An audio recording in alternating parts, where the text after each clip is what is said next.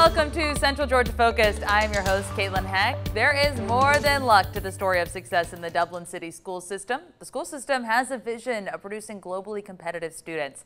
Dublin City Schools says they're reaching that goal by preparing students to be effective communicators, problem solvers, and lifelong learners. So today we're learning more about the school system's tools to success. Our guest, Dublin City School Superintendent Dr. Fred Williams, thank you for being here with us today. A great day, glad to be here. Uh, you have been with Dublin City Schools for three decades. Talk about your time with the school district. I'm very fortunate, uh, graduated from Clark Atlanta University and came uh, to Dublin, Georgia. I was a uh, health and PE teacher and served there as a, football coach as well and wrestling coach and, and now uh, I'm the lead learner of the school system and uh, nine years as superintendent. And don't you worry, he's not going anywhere. He'll be here for another couple, right? Uh, yes, ma'am. I've been serving as uh, the lead learner, the superintendent for nine years, and uh, but I do have a, uh, a, new contract that'll start next year for three more years. Fantastic. Celebrate that big 1 0, yes, 10 years as superintendent. well, talk about the growth of Dublin City Schools since your time there. Uh, we're very excited about the growth that we have of our school system in itself uh, the programs and offers that we have uh, for students. Uh, we're excited about that growth, of real growth in workforce development, making sure that our kids are college and career ready. Speaking of that, you all have a new Career Academy, The Way. Talk a little bit about that and what that offers to your students. Uh, we have a wall-to-wall -wall career academy called The Way Workforce Accelerating Youth. Uh, with that, we have a brand new mechatronics program. Uh, we sat down with about 16 uh, CEOs in various industries in our community, and we understood that advanced manufacturing is something that they really needed. And so, as we put our minds together, being a charter flexibility uh, system with the flexibility, uh, we implemented that particular program to make sure uh, that we're producing the type of skilled worker that those industries needed. And what are some other programs that are offered in that Career Academy? Uh, we have uh, welding. Uh, that's something that we're doing uh, with our accelerated uh, career program where students are uh, taking classes at the technical college as well, dual enrolled. Uh, they're also uh, getting uh, not only the TCCs, but some also have apprenticeship opportunities that they can have in welding. we have cosmetology, we have culinary arts, we also have criminal justice and we have a program, uh, a childhood education program where we're developing our own teachers uh, that's also connected with our new daycare that we started. Fantastic. And that takes a lot of resources, putting together a career academy like this, getting all of those different opportunity for students. But why is it so important? It's so important that kids uh, not only uh, just go to college or uh, but they also have a skill that they can that take into life with them. And so uh, we believe that we're doing uh, that. We're also making sure that the offerings that we have are directly uh, related to our regional workforce and the workforce that we have in the Dublin Laurens community. And it's just extremely important that as kids leave uh, college, excuse me, high school, that the next day they can go straight to college or work. And so we want them to have the necessary tools uh, with the jobs that are now and have skills for those jobs that are coming in the future. And you mentioned uh, a minute ago dual enrollment. Talk about that program and the success it's bringing to students. So dual enrollment in Dublin City Schools uh, has a two-pronged approach. Uh, there's the traditional uh, dual enrollment with the four-year institutions uh, such as Middle Georgia uh, College and State University, but we also have accelerated career that is through the technical college system of Georgia, Oconee Fall Line. And so we have students that spend most of their time off campus at, at one of those institutions uh, also Georgia Military College, or, or they're dual enrolled on campus because we have teachers who are certified uh, to teach uh, dual enrollment in the courses. And what that does, it affects the economics of the parents uh, for those kids. Uh, they don't have to pay for that college with, with how Georgia is set up uh, with the traditional dual enrollment route uh, for those students who are going to a four-year school, but then the accelerated career route for those kids who are going uh, straight into careers. And so we're excited about the various offerings uh, that we have, and all of the credits count toward uh, graduation. The difference between the different the traditional dual enrollment and accelerated career is that once a kid completes their content courses uh, in the 10th grade uh, for those accelerated career students, uh, they are dual enrolled and then they are actually either working as an apprentice in a particular industry or working toward TCCs. And of course, that, that's so important for these kids to have all of these opportunities now. Talk about the difference in, in the type of learning and the type of teaching that you're doing now versus, you know, 10 years ago, 20 years ago. So now uh, you won't see any uh, uh, chalkboards and chalk. Uh, you know, dry erase boards and dry erase markers were the thing. Now it's a lot of technology, a lot of hands-on activities, project-based learning, where students are put in real-world situations to solve real uh, world problems. Uh, we've had students uh, as young as sixth grades who have built PCs uh, and those type of things. And uh, and as it relates to careers, a lot of people think that manufacturing is still the old dusty shops, but it's not. It's robotics. And so we're teaching uh, coding. We're partnering with Georgia Tech uh, Sean Movanity, uh, and he is working with schools uh, as young as elementary, uh, middle and high school to make sure that we're offering uh, the necessary skills so that our kids can compete in the global workplace. And so we're excited about those offerings. It always amazes me what these kids can do now. I, I was learning to type in the sixth grade. These kids are building computers and doing all kinds of crazy yeah. things. And we're very fortunate. Uh, we are a one-to-one school district. Uh, every student in the Dublin City School gets a brand new device at kindergarten, uh, fifth grade, and ninth grade. And so we know that software changes, technology changes. So when they hit those benchmarks, uh, we provide a new device. And so the kids are uh, actually uh, using those devices in every classroom that we have.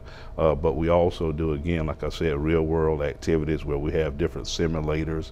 Uh, we utilize uh, AI. Uh, we have programs that actually where kids can reach in and, and, and pull out the heart and, and, and a 3D uh, representation and, and open it up and just really learn uh, some cool and amazing things where before all we had was books mm-hmm. and, and other things and, and charts on the wall and, and now it's just uh, so amazing to have those three different 3D uh, representations and artificial intelligence as well. It's amazing how technology has changed the yes, way that kids learn now. it has. Uh, now, Dublin City Schools is a charter school system. What makes that different from maybe other school systems? Uh, the charter school systems, uh, school systems had to choose to either be a status quo. You only had two school systems that did that. Uh, majority of school systems chose to be strategic waiver, where they would cherry pick the flexibility. They would cherry pick the state rules uh, and laws that they wanted uh, relief from. Uh, charter systems, we signed up for broad flexibility. And what that does, it gives us the ability and the agility to be very responsive to the need of each and every learner. Our number one goal is high achievement and success for all students. So uh, we know that that might not look like the same, but we want to make sure that we're giving every child what they need uh, to be successful in, in, the arenas that they want to compete in for life. And so with that, uh, we have uh, relief from certain Title 20 laws. Uh, we have relief from uh, certain state board rules uh, that allow us agility and responsiveness, such as class time, the length of the day. Um, uh, so seat time uh, is not something that we have to adhere to. Uh, the length of the day, we can make it as long as short. Uh, the length of the year, uh, those are some examples. Uh, also, when we look at the teacher shortage, one thing that we pride ourselves on, particularly in the way space, is that we want to make sure that we have industry specific and certified people. So our welder teacher, he didn't just come the traditional route. A cosmetology teacher didn't come the traditional teaching route. Uh, these are industry certified uh, people, uh, a mechatronics teacher uh, that bring that expertise. Uh, and so we have what's called professionally qualified staff that are able to do some specific uh, things and skills for our young people. And that's a part of that flexibility. Oh, we need to take a quick break, but when we come back, daycare for the district's parents with kids. We'll tell you all about the services in Dublin City Schools coming up next.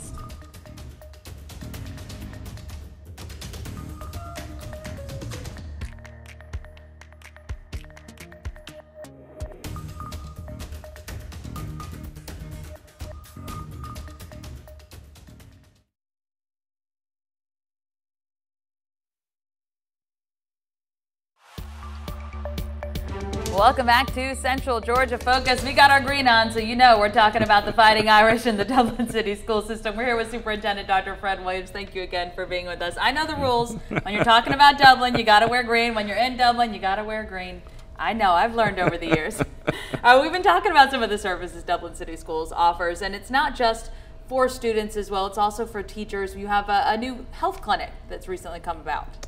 Uh, yes, we, we want to, part of our strategic plan, uh, we talk about on the goal to efficient, effective use of environmental resources, student and staff safety and health and well-being. Uh, we pride ourselves in student attendance, we pride ourselves in staff attendance. And we know that uh, health care is an issue around the nation. And so we wanted to uh, find a way uh, to ensure uh, that the health and well-being of our students and our staff, uh, we were helping to meet that need as well. And so we are starting a, a, health clinic there in our school system where all of the students and staff uh, will be able to utilize that health clinic for their health care needs. Uh, we partner with the local pediatricians uh, to really uh, research and study uh, what's best for our community, what's the best fit, uh, because we didn't want to take patients away from our physicians. So how can we have a win-win for everybody and make sure that our students' health and staff health is at, at the forefront? And so we were able to um, uh, realize this this health care. We have a behavioral health department, and we also have four mental health counselors in addition to school counselors. And so we really take seriously the safety, the health, and the well-being of our staff. And talk about those mental health counselors and their role in helping your students. We are very excited. Uh, we had this uh, prior, just prior to the pandemic, and through the pandemic, we were able to provide mental health services uh, for our students, our staff, and families. Uh, on our website, we have the Shamrock button. They can hit that button anytime, day or night, and we will respond uh, to those needs. Uh, we hook them up with various uh, agencies for support. Uh, they actually push into classrooms and they have certain kids that they meet with on an ongoing basis just to help those students with, with the mental health challenges that they have. And it's, it's very exciting to see the growth and the reward of how students are are progressing and doing better uh, in their mental health, and, and it's it's just a blessing to have those that resource available. Absolutely, mental health is so important, especially for kids as they're growing up too. Another big resource you have right now, daycare for staff. As a new mom myself, I know that is a big bonus. that is that is a, a huge bonus. It's, something about five years out that we had been looking at and planning. Uh, we wanted to be able to uh, recruit and retain uh, the best and brightest teachers uh, that we have. We know that um, a lot of uh, educators are coming younger and in the childbearing years, and so we wanted to be able to provide that resource uh, as quality daycare so that we can meet the own in, internal need. Also, full transparency, this is a beta test. Uh, we're looking for those industries in our community that want to partner with us as we uh, do this beta test with in-house with our own uh, staff children uh, so that we can partner with industry who want to partner with us well uh, as, as, as, as business partners and we're going to look at uh, open that up so that we can help solve the daycare crisis that is a national crisis where a lot of people, a lot of moms can't work uh, because they don't have uh, quality daycare. And we also do Baby Irish, where we have a uh, two uh, class reunions a year. And so Dublin City School stands at the womb with their hands wide open, and we work with parents uh, who have birthed just before pre-K age. We teach uh, development appropriate activities. Uh, we connect them with different agencies uh, such as the library, uh, such as uh, other, uh, our OT, our PT, our speech language pathologists are there, our, our special education teachers, pre-K teachers, every school administration is there, and we work with the entire family on development appropriate activities twice a year. Uh, they get a little onesie, a cap and gown with their graduating year, and, and, and we just have a lot of different uh, activities that we do to promote early literacy and numeracy with young people. That is absolutely incredible. I'm yes. about to move to Dublin. now, now this, but this is so important because these kids are eventually going to be in your school system. They're eventually going to be there, and one thing that is not equal is uh, where uh, all kids coming into school. Mm -hmm. And so what I mean by that is the state has a certain benchmarks where kids should be, things that they should know and be able to do.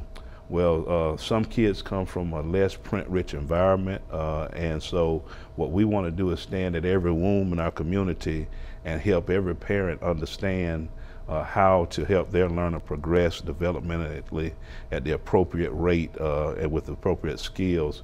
Uh, one thing we have about nine teachers in our system, and including myself, we have the dyslexia endorsement. And so we believe if we can stand at the womb and work with these parents that are baby Irish, uh, that we don't have to wait till a kid comes to school to know that they need a certain type of help. And so we're able to provide, provide that before they uh, come to school. Now, this kid doesn't have to be a Dublin City School kids. We are here to help all kids. So any parent uh, in our region, our community uh, that wants to be a part of Baby Irish is September 30th uh, at, at the uh, Irish Gifted Academy uh, gym. we start up about 10 o'clock in the morning. And so we're there to, again, help and be a resource and provide resources so that um, all kids can be successful in life. That's great. And can people sign up through that through the district's website? Or? People can sign up through the district websites. Dr. Takesha Thomas. Uh, we have Baby Irish information on there, and then they can sign up and, and go from there. And you said that is birth through pre-K? Birth through pre-K. And so we know that uh, early learning uh, really starts at home. Home is the first classroom, and so we really equip uh, the home with particular activities that parents can do uh, while they're cleaning, uh, such as storing the day for the kid and helping with language development. Now, uh, moving back to the, the, daycare too, that's also helping, you said, grow your own teachers. Grow our own teachers. We have a teaching as profession uh, pathway at Dublin High School, and so those students go in and do practicums in our daycare uh, as they as they learn uh, just basic uh, teaching skills. Uh, and so we're also preparing our students who are going into the teaching profession with with the lab, so to speak. And our, our staff members across the district know that they have a quality place to um, for their kids to be during the day and learn and grow.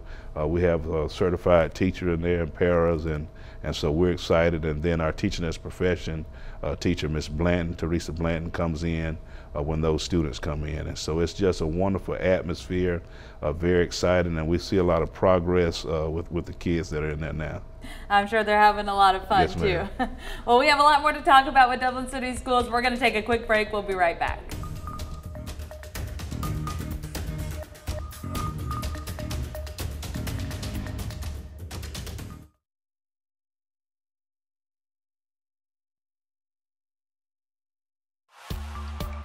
Welcome back to Central Georgia Focus. We're talking with Dublin City School Superintendent Dr. Fred Williams. We've been talking about all the different programs offered for students and also for teachers and staff as well. Talk about how that has helped you uh, during what many districts are having trouble finding teachers and you're finding them and recruiting them. We are very fortunate that we have not had to the magnitude as others uh, experienced a teacher shortage. Uh, the teacher shortage is real around our state is real around the nation. Uh, but being a charter system, uh, we uh, try to find ways to differentiate ourselves and be uh, attractive to families, such as uh, what we're doing with our daycare. but we have really been able to go out to the different colleges and universities and, and recruit teachers. Also, with the flexibility, looking at our specific needs, such as I said, in our Career Academy and CTE, finding those industry certified uh, teachers that can uh, teach. Uh, for example, if we have an engineering opening, uh, we might not have someone from the traditional route. We might go to Georgia Tech and get someone who majored in engineer and then teach them the pedagogy and, and support them uh, through academic uh, coaching. But as I share with our central office staff, we, we want to be like Kirby Smart and the rest of the crowd. You know, recruiting never stops. And so uh, a lot of people like to wait until January and February and start to look for teachers. And we try to spot talent year round. And uh, we try to uh, talk to that talent and get, and get that talent uh, to come uh, to Dublin. And so things such as our daycare are very attractive. Uh, we know that in any work industry, the housing market is, is something that really limits uh, people from being able to uh, attract teachers. And so we're looking at some solutions even uh, uh in, in, terms of uh, housing. I've been in conversation um, uh, about a couple of things with, with some stakeholders in our community, uh, our city government through the mayor. Uh, we, we've talked a little bit about housing, uh, what that might look like for workforce housing. Mm -hmm. And so uh, those are some things that uh, we are really doing to really try to set ourselves apart uh, to be the place that someone would want to come and be all day. And in our school uh, system, we want the type of culture where being in the Dublin City Schools building is the best place that you can be all day. Oh, that is fantastic and a great resource too. Yeah. You know, knowing that you're helping those teachers in all aspects of their life. Yes, ma'am. Uh, now, uh, something we've talked about recently, I know uh, in our newscast, is some active learning, some game type learning that you guys are doing over at Dublin City Schools. Yes, ma'am. We have the active floors, and uh, we also have uh, other products associated with that that really uh, takes the lessons to a different level. things that uh, even with the early learning help teach phonics and phonemic awareness uh, so that kids can read. But the students really get into uh, the active floors where teachers can actually put in questions and and other type of uh, uh, uh, response drivers from students.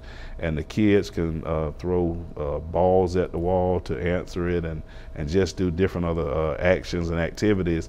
And so it's really exciting to see the engagement um, in, in learning and so kids are playing, but they're learning at the same time. And so, in some instances, they might not really realize that they're really learning when they're going deeper into learning, uh, because uh, some kids are kinesthetic learners. You have auditory, uh, you have visual learners, and some kids have to move and learn. And so, this is just another way to uh, attack those different learning styles.